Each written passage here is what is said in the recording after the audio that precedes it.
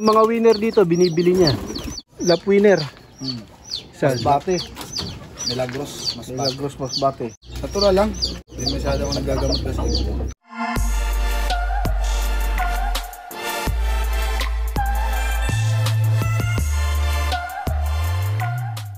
Welcome back mga kalapatids. So, pangatlong loop visit ko na to dito sa Boracay. Anong ano, lugar to dito sa Boracay? Manok-manok. Manok. Loop name, sir. Kapisinyalo. Ano na? Kapisinyalo. Kapisinya Loop. JB Francisco. Yun, JB Francisco, Kapisinya Loop. So, ito yung mga ibo niya, mga kalapatids. Nakahiwalay na. Wala ka nang binibreed. Wala na. Tapos na. Pahinga na muna ang breeder. Kasi wala pang bagong ano, wala pang bagong release na singsing. Kaya pahinga muna mga puso. Ito yung mga breeder niya, mga kalapatids. Ito, mga ano daw to? Mga winner. Baga, yung mga winner dito, binibili niya. Yan. Pero ano, konti lang. Ito na lahat yung breeder niya. Wala na laman yung breederan niya. Nakapahinga na lahat. Ito na lahat. Nung nakaraan, nag ano siya, lap, lap winner. Hmm. Saan? Masbate. Milagros, masbate. Milagros Masbate. Nandito yun. Ah, kinarga. Kinarga ulit. First lap. First lap na. Ayun, kinarga ulit. Paano mo kinukondisyon yung mga ano mo? Ibon. Natural lang. Hindi masyado ako nagagamot kasi. Ah, natural din ang ano. Hirap pa. Pagkagamot, masaw. Pag uh, inano mo Kung pa, puro tawid dagat pa naman dito, ano? Oo. Puro ano sila dito, herbal, mga kalapatids. Dito sa mga breeder, ano binibigay mo dito? Maganda yung kondisyon ng mga breeder nyo. Ang ano lang. Yung maintenance ng araw-araw yung flyer mix. Tsaka tubig. Rainwater. Ah, wala rin ano yan, supplement. Naglalagay ng ano, at hindi man sila ginagamit. Stock lang muna. Kung saan yung pwede na i-radiance na gamitin, saka Ah, na doon pa lang maglalagay ng ano. Gagamit. Pero yung kumbaga parang manok, naka-pre-con ano. Oo. Pagka huhugutin, tsaka ano. Kondisyon. Kondisyon na lang. Ayan, ang gaganda ng mga breeder niya, mga kalapatids. Eh, may naispatan nga ako isang maganda dito. Ano. Dahil ni ano, BB Shark Look. Kay Baby Shark Loop, yung una naming ano, nilop visit. Yung pagpapaa mo dito, hindi ka nahihirapan. Hirap kasi mapuno. Ayun, mapuno nga dito. Ano. So, depende rin. Tsagaan lang. Hindi ka nawawalan. Marami rin, nag-overtime yung iba. Masama sa ano, grupo. Dito, dito dumadaan yung ano, eh, yung club ng Mindoro. So, ibig sabihin yung pagkainakay, paano mo tinuturuan Ah, dito? ayun. Pagka, ano, dapat talagang malinaw na yung mata bago mo bitawan. Ah, magulang na magulang na. Mga ano, 2 months, 3 months, ganun. Going to poop. Para iwas ano, sa viewing lang muna. Isang buwan naka-viewing din ka sa ano. Silipin natin yung flyers look ni Sir. Marami pang laman siguro yan. Yun. Ayun, nasilip sino. Mga ano, tagun-tago ah. Talagang ano, kondisyon na kondisyon oh. Ito yung mga flyer niya, mga kalapatids. Mga ano to, bago pa lang, Yung iba, yung iba dyan, meron na may edad na iba. hindi yung iba na ilaban na o ilalaban pa lang. Wala pa mo may laban sing. Puro ano to, naka young bird na sing-sing. Banded. Yun, puro banded daw ng ano to. Young bird. Ayun, ganda ng perch niya. Oh. Relax na relax yung mga ibo niya. Ayun, kitang kita. Ang ganda ng kondisyon ng mga young bird. Oh. Ganda ng dumi. Ano pa oh. Ano oras mo pinaparonda to, sir? Ah, 7 ng umaga. Hanggang yun, Ah, sarap mo na. Baba, ah, kahit ano. Baka makakawala. Okay. Mga na ng alas no?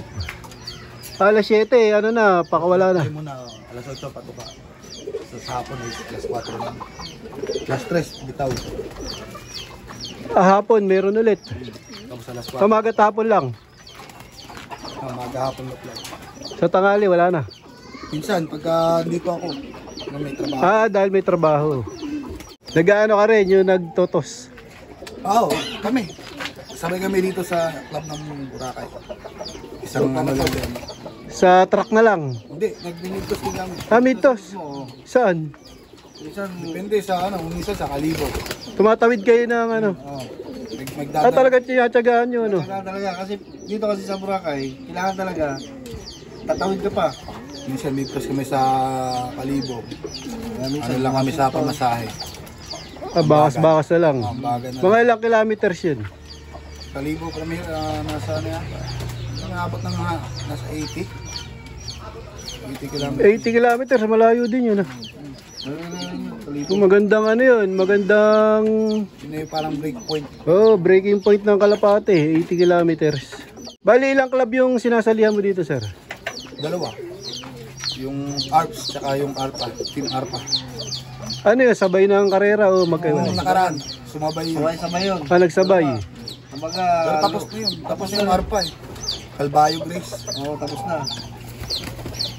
Kaya ngayon, ano naman, Ilan ano, ilan sinasali niyo pagka ganun? depende kung ano, yung sa anin. Hati. Sabi mo na ka, hati. Hmm, sa dalawang Wow. lahat. Kumbaga yung karera dito, ilang lap ba?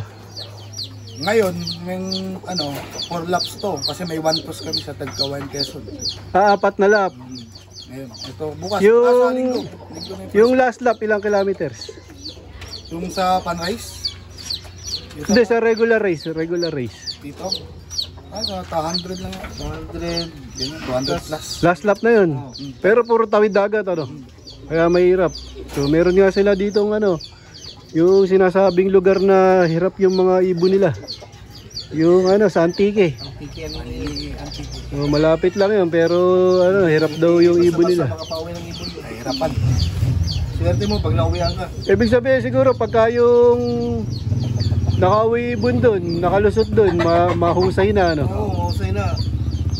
Ah, ano, tumatapos na ng karera pagka ano. Tapos talaga yun. Pag ibig sabihin, pag yung ibon mo, nakalusot ka ng antika nila eh, napauwi mo, okay yung ibon. Maganda. Maganda palang ano yun, Oo, training. Pero pag yung ibon mo, hindi nakalusot ng ano niya eh, wala na. Saan kaya napupunta yung ibon doon pagka hindi na nakauwi? Eh, doon na lang. Yun ang hindi namin alam na. Malamang yung dalawa lang yan. ng palkon. Hindi, sa dami nun. Puro napal ko Dalawa, nyo. dalawa lang yan. Kung hindi doon na mismo titira, o baka na palkon. Ah, yun. Minsan hindi na nakauwi. Ba, medyo mataas yung lugar na yan. Oo, mataas talaga. Yung bundok doon.